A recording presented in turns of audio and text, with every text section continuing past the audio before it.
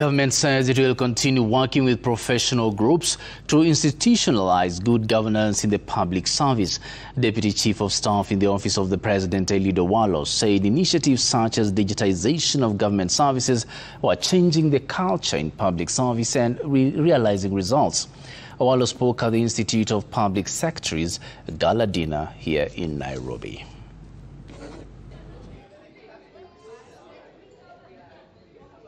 Good corporate governance is, uh, is very important to our country because uh, it is what measures how an organization is performing in terms of its leadership practices and its uh, governance structures. As an institute, we want to confirm that we are in full support of the government on matters of digitization. Once you digitize services, you reduce the interaction between uh, the people and the service providers, and that way you also reduce corruption. Would you believe that before we embarked on the process of digitalization in government, we used to collect an average of 60 million? Today,